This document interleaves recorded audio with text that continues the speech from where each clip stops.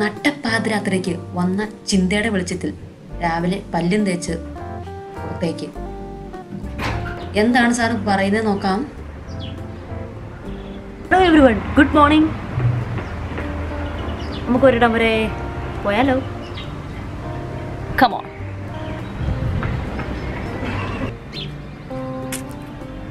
എന്തോ സംഭവമുണ്ട്. നമുക്കും പുറകെ പോയി നോക്കാം അല്ലേ?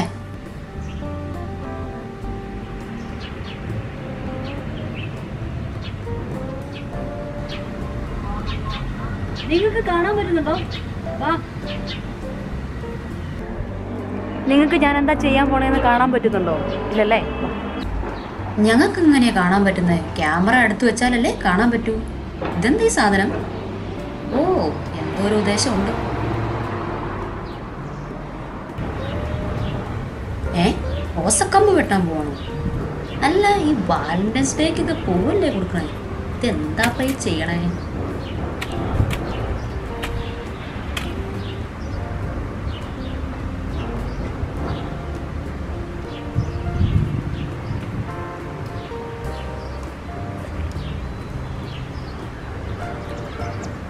ഒരു നല്ല ഒരു റെഡ് റോസപ്പൂവിന്റെ ഒരു തണ്ടാണ്.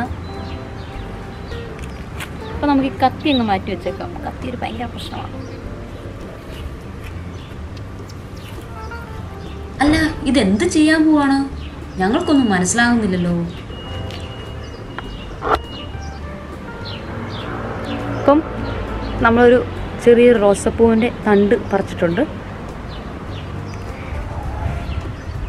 ഇനി നമുക്കിത് എവിടെയെങ്കിലും ഇത് നട്ട് വെക്കാം. ഓ അതിനു വേണ്ടിയായിരുന്നു. അപ്പൊ ഇതെന്താണ് ഈ വാലന്റൈൻസ് ഡേ ആയിട്ടൊരു ബന്ധം? ഒന്നും മനസ്സിലാവുന്നില്ലല്ലോ.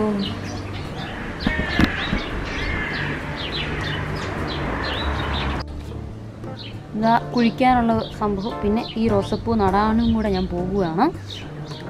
റോസപ്പൂവല്ല മാഷേ അത് റോസ കമ്പാ എന്താ ഈ പറയണേ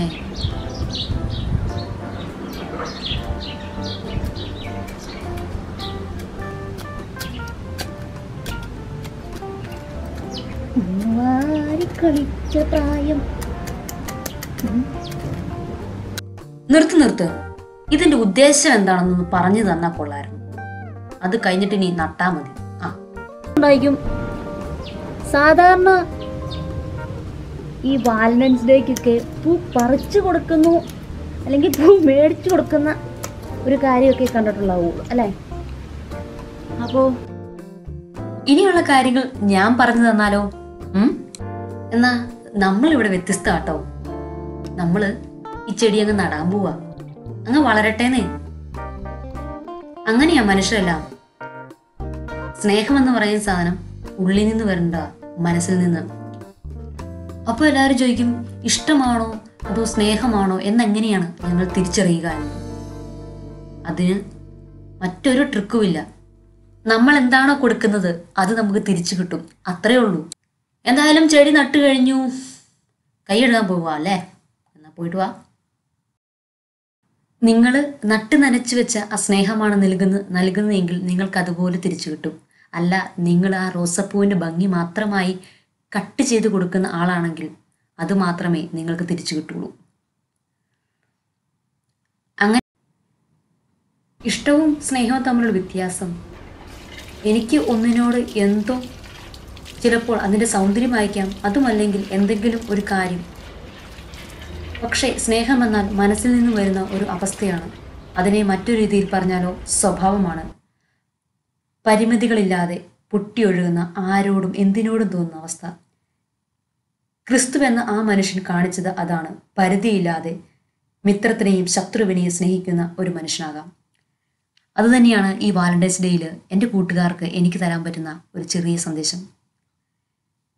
ഇതുപോലെ ഒരു ചെടീനെ പോലെ അവർ നൽകുന്ന സന്തോഷം മറ്റെല്ലാവർക്കും നമുക്ക് പകരാൻ ശ്രമിക്കാം. ഒത്തിരി സ്നേഹത്തോടെ ഡോണ.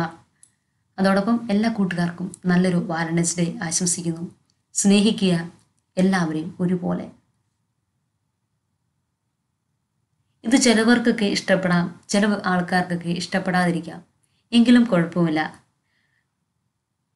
നിങ്ങൾക്ക് ഞാൻ പകർന്നു നൽകുന്നത് ഒരു ചെറിയ അറിവാണ്. സ്നേഹത്തെയും ഇഷ്ടത്തെയും തിരിച്ചറിയാനുള്ള അറിവ്. അതോടൊപ്പം പിന്നെ ഇഷ്ടപ്പെട്ട മറ്റുള്ളവർക്ക് ഷെയർ ചെയ്യാനും സബ്സ്ക്രൈബ് ചെയ്യാത്തവർ സബ്സ്ക്രൈബ് ചെയ്യാനും ഒന്നും മറക്കണ്ട. ഇസ്രയേൽ കാഴ്ചകളുമായിട്ട് ഞാൻ ഇനിയും നിങ്ങളുടെ മുമ്പിലേക്ക് വരും. അടുത്ത വീഡിയോ ബദ്ലഹേം വീഡിയോ ആണ്.